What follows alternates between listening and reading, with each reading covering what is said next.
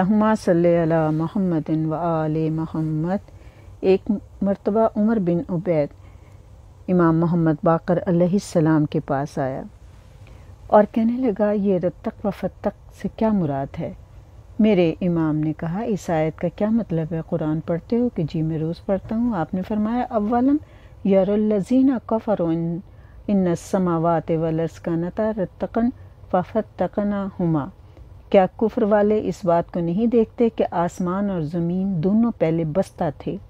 हमने इनको शगाफ्ता किया। यानी आपने कहा कि तुम पढ़ते हो? अब सुनो, आपने फरमाया आसमान बंद था। यानी कोई ख़तरा आसमान से ज़मीन पर नहीं बरसता था, बारिश नहीं होती थी, और ज़मीन बसता थी। यानी किसी किस्म की घास इससे ना उगती थी। तब अल्लाह ने हज़रत आदम की दुआ कबूल की तो ज़मीन शगाफ्ता हुई और नहरें जारी हुई, समंदर बने और दरख्त लहलाए और फल फूल लाए और आसमान से पानी बरसा। यही रत्तक व तक है। अल्लाहुम्मा सल अला मुहम्मदिन व आले मोहम्मद।